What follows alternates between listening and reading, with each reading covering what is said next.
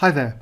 Now for this question, we're told that the continuous random variable x has a cumulative distribution function f of x equaling 0 when x is less than 1 and it equals x cubed divided by 10 plus 3x squared divided by 10 plus ax plus b where x is greater than or equal to 1 but less than or equal to 2 and it's equal to 1 when x is greater than 2 where a and b are constants.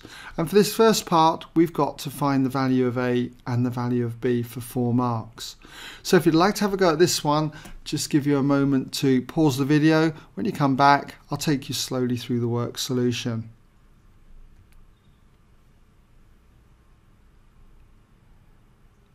Okay, welcome back then if you had a go.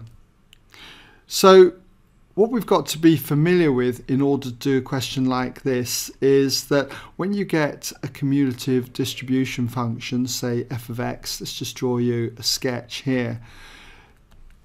We've got our axis like so, this is x here, that in this example it's going between 1 and 2.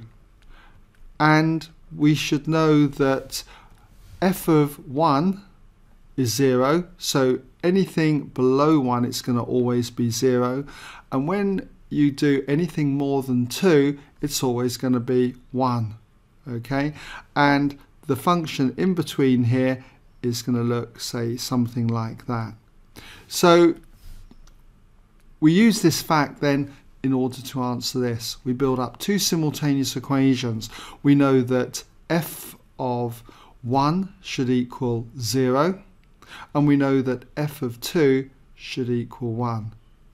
So let's start off with the first one, that is that f of 1 should equal 0. And if that's the case, using this here, substituting x equals 1 in, we're going to get 1 cubed over 10, which is going to be 1 tenth. So 1 tenth plus, and then we're going to have 3 tenths plus 1a or just simply a plus the b and that's going to equal 0. Now if I multiply through by 10 we know that 1 tenth plus 3 tenths is 4 tenths so if I multiply through by 10 we're going to therefore have 4 plus 10a plus 10b is going to equal 0. So this is my first equation that I'm going to be using when it comes to doing simultaneous equations. We need our second equation next and that comes from doing f of 2. f of 2 remember equals 1. So if we substitute x equals 2 into here we're going to have 2 cubed which is 8 so we're going to have 8 tenths and then 2 squared is 4, 3 fours are 12 so that's going to be plus 12 tenths and then we've got plus 2a plus b 2a plus b and that's going to equal the 1 here okay? And this works out nicely because 8 tenths 12 tenths that's 20 tenths or 2 whole ones. So we've therefore got the 2a plus b and what I'm going to do is take the two whole ones from both sides. So you're going to end up with 1 minus 2 and that's going to equal minus 1.